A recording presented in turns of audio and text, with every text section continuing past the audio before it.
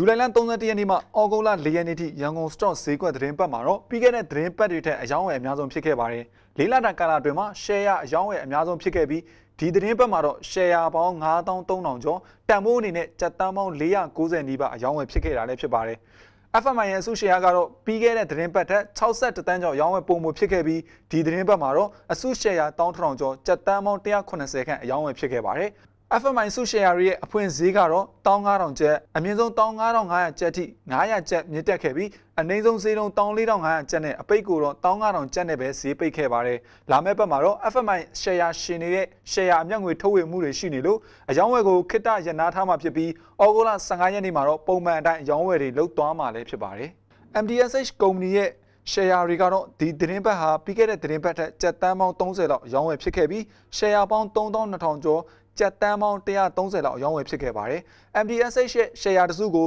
3950နဲ့ဈေးဖွင့်ခဲ့ပြီးအမြင့်ဆုံးကတော့4000ကျပ်ထိဖြစ်ခဲ့ပါတယ်။အနည်းဆုံးဈေးနှုန်းကတော့3950ကျပ်ဖြစ်ခဲ့ပြီး4000ကျပ်နဲ့ပဲအယောင်းဝယ်ပိတ်ခဲ့ပါတယ်။ MCB ရဲ့ share အယောင်းဝယ်တွေကတော့ဒီသတင်းပတ်မှာ3ရက်တာလုပ်ဖြစ်ခဲ့ပြီးရခိုင်သတင်းပတ်ထက်9တန်းကျော်အယောင်းဝယ်ဖြစ်ခဲ့ပါတယ်။အယောင်းဝယ်ဖြစ်ခဲ့တဲ့3ရက်အတွင်းမှာလည်း share ဈေးနှုန်း8800ကျပ်နဲ့တာအယောင်းဝယ်ဖြစ်ခဲ့ပါတယ်။ FPB ကုမ္ပဏီကတော့အရင်တစ်ပတ်တက်တစကျော်အယောင်းဝယ်ဖြစ်ခဲ့ပြီးကြက်တန်းပေါင်း60နဲ့၄လအတွင်းအများဆုံးအယောင်းဝယ်ဖြစ်ခဲ့ပါတယ်။ဒီဘက်မှာတော့အစုရှယ်ယာပေါင်း9000ကျော်ကြက်တန်းပေါင်း190အယောင်းဝယ်ဖြစ်ခဲ့ပါတယ်။ FPB ရဲ့ share အဖွင့်ဈေးကတော့2500ကျပ်နဲ့အပိတ်ဈေးကိုတော့2350ကျပ်နဲ့အယောင်းဝယ်ဖြစ်ခဲ့ပါတယ်။အမြင့်ဆုံးကတော့2500ကျပ်နဲ့အနိမ့်ဆုံးဈေးကတော့2350ကျပ်ပါ။ဒီဘက်မှာတော့ block trading share အများပြားရောင်းဝယ်မှုဟာ MTSH ကုမ္ပဏီတစ်ခုသာအယောင်းဝယ်ဖြစ်ခဲ့ပြီး share တစုတန်ဖိုး3850ကျပ်နဲ့ share ပေါင်း3သိန်း1000တန်ဖိုးကျပ်တန်ပေါင်း390နီးပါးအယောင်းဝယ်ဖြစ်ခဲ့ပါတယ်။